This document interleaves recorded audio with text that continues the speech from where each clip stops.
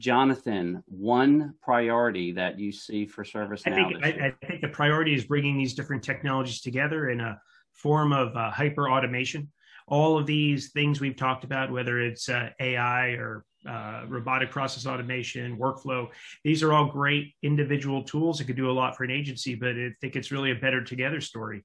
When you bring it all together, you can you're limited only by your imagination in a lot of ways about how these different pieces can these different technologies can work together to change the way your agency um, operates. I think you know we can move this idea of, of automation you know really um, away from uh, you know a, pro- a single processor function but to end to end digital processes that work across an agency and take a, take uh, people focus away from the administrative tasks and mundane kinds of things to the higher value work that um, we should all be we should all be focused on. So we're talking a lot about that and and seeing um, activities across a wide variety of organizations.